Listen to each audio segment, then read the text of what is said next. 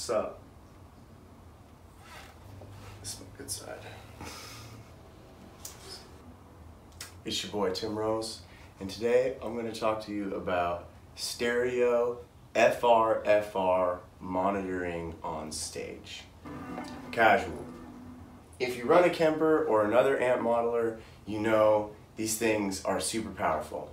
And you need a certain kind of speaker to monitor yourself with them. Uh, FRFR speakers, if you don't know, that's full range flat response. So basically like a powered speaker, a powered PA speaker. These companies, there's the Friedman, there's the Gemini by Mission Engineering, there's all of these great things. Make great speakers, but some of them are prohibitively expensive or they just sound like junk.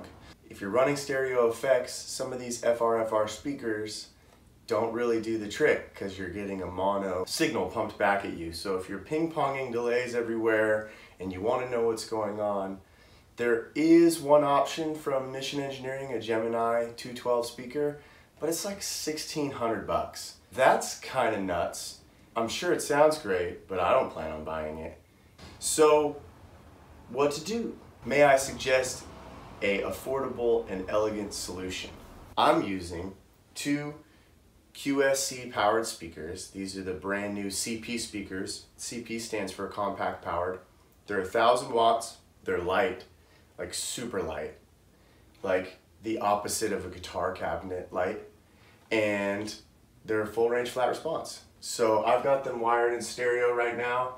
I've got left side, right side, and I still have the two outputs on the Kemper for the front of house guys. So the XLRs can go straight to the front of house and he can deal with that and I get a true representation of what's coming out of my Kemper.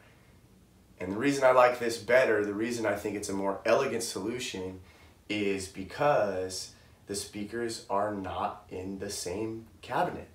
There's if you're running stereo effects and the two 12s are right next to each other, I don't really get the full stereo deal.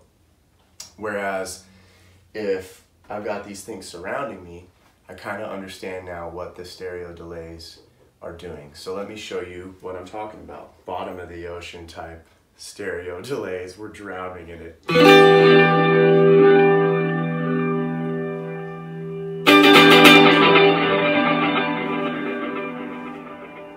So you're not going to be able to tell on the iPhone, but I can tell you that these things are bouncing around all over the place.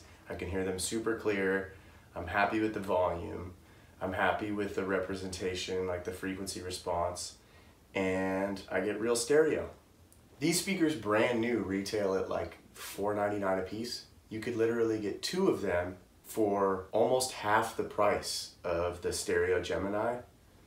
And you can use them for other things. You can put them on poles and like have a backyard party with them as mains. The versatility of having just a normal powered PA speaker versus like a specific guitar cabinet, wooden, heavy as hell speaker is that like you'll only get to use that as one thing forever and you won't even get a real stereo signal out of it. I just decided to go with a PA speaker and I'm super happy with it. So I hope this video helped you and get out there and start ping-ponging.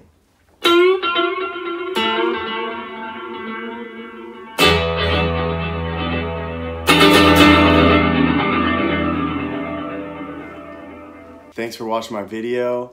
I hope this was useful to you in some way.